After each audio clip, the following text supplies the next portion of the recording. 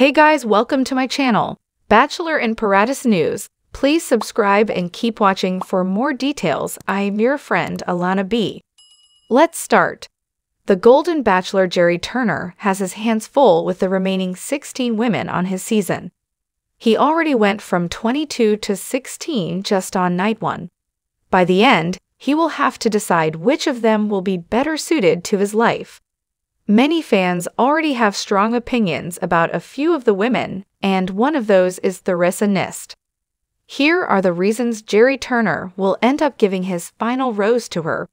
Golden Bachelor Gerry Turner seems smitten with a few of the ladies already. Theresa Nist already proved she can be fun. Her entrance from the limo was hilarious and really made him wonder for a few minutes what was under her coat. She announced it was her birthday and said she thought she should come in her birthday suite. Of course, she had a tan colored leotard on. They both got a good laugh as she leaned in and hugged him, noting she has six grandkids. Since it was her birthday, Gerry later presented her with a cupcake. After blowing out her candle, she and Gerry shared a very sweet kiss. There is obvious chemistry between them. While she didn't get the first impression rose, she did get a rose at the end of the night.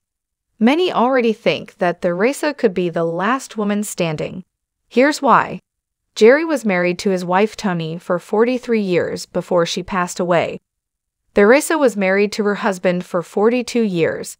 While it has been longer since she lost her husband, they can relate to one another in that way along with many others. Dot, They both have two children. Gerry has two daughters while Theresa has a daughter and a son.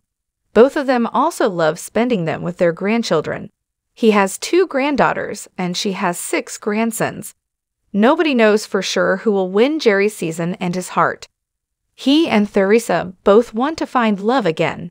He wants someone to live out his golden years with who loves adventure, plays pickleball, and treasures family. She seems to fit this bill pretty perfectly. Both of them seem mellow yet fun. There's a good chance she may be the one. What do you think?